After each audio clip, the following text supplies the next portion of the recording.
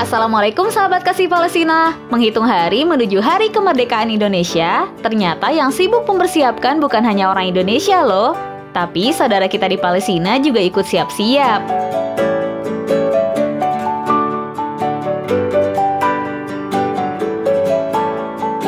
Inilah suasana persiapan syukuran Agustusan yang akan digelar di Masjid Istiqlal Indonesia di Gaza. Para relawan kasih Palestina bergotong royong bekerja yang dibantu juga dengan anak-anak Palestina menghiasi aula masjid dengan bendera Palestina dari Indonesia.